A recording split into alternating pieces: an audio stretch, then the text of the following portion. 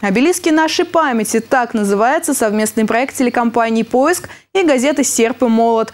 В каждой серии детальный рассказ о воинских захоронениях на территории Клинского округа. Только проверенные факты и удивительные примеры героизма. В первой части история мемориального захоронения летчиков на въезде в Майданово. Полную версию премьерной серии нового проекта смотрите сегодня, 10 марта, на муниципальном канале «Поиск» в 21 час ровно.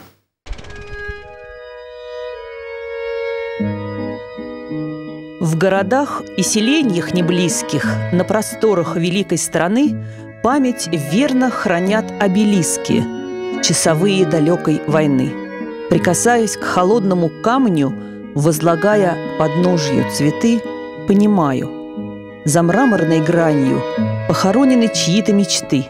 И склоняем мы головы низко, сердце трепет, глаза холодны перед памятью в тех обелисках – часовых незабытой войны.